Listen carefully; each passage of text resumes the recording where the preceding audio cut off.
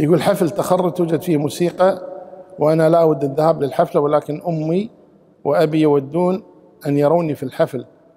والرفض قد يتضايقون تضايقا شديدا. على كل حال بالنسبة لهذه الأمور يعني تكون الموسيقى هنا غير مقصودة لذاتها يعني هو مو رايح عشان الموسيقى. هو رايح للحفل وليس لأجل الموسيقى. مثل واحد يروح السوق وفي موسيقى أو يركب الطيارة وفيها موسيقى أو يدش مطعم وفي موسيقى. هو لا يقصد الموسيقى وذاك يفرقون بين السماع والاستماع.